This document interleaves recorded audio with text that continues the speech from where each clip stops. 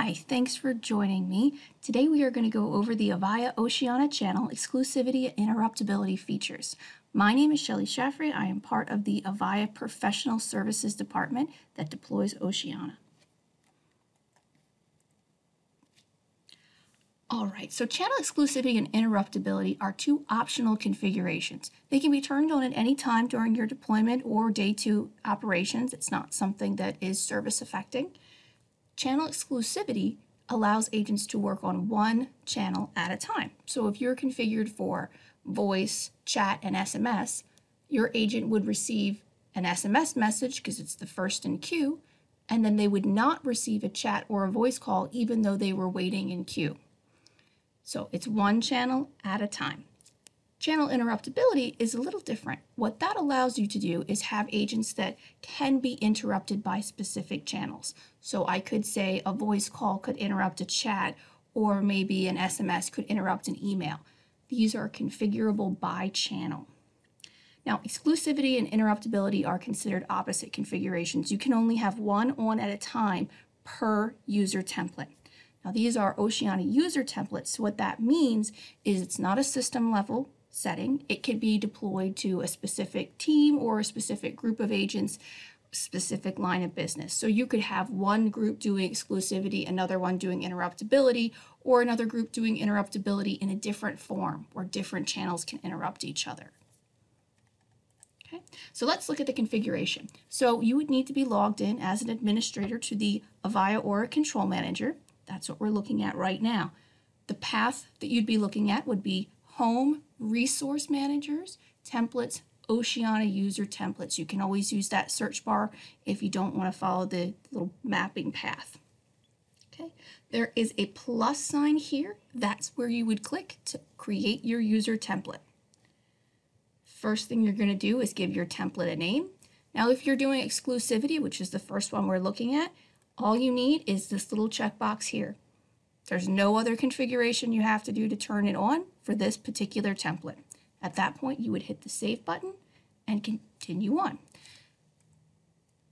We're going to look at the interruptibility configuration, so we're going to make a second test template that is set as interruptibility. So for interruptibility, a few things you have to think about first. You really need to lay out how you want it to work. What channels can interrupt what, if you don't have that laid out before you start the configuration, you're not going to get very far. Okay, so we are still in the Avaya Aura Control Manager. We are still in a user template, so we're just creating a new user template. Again, we will not put exclusivity on. If you click this, this interruptibility fields will become grayed out. You can't have both on at the same time.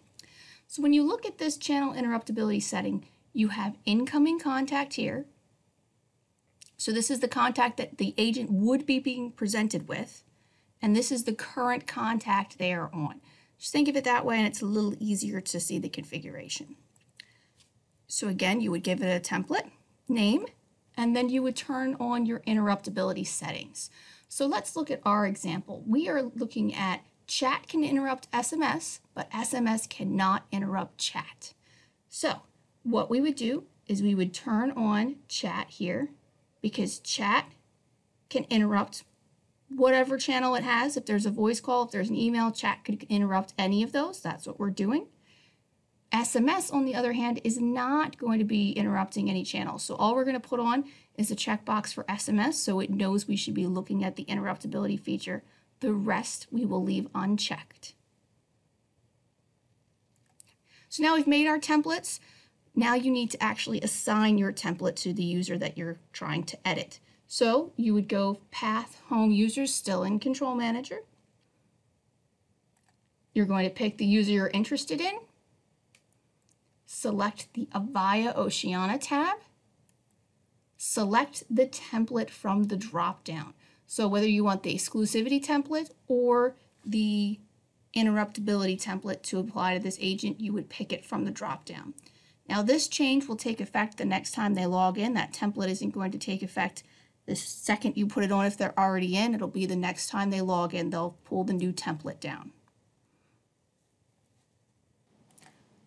All right, so let's take a quick look at this in action. So I have my agent logged in. I have my SMS message.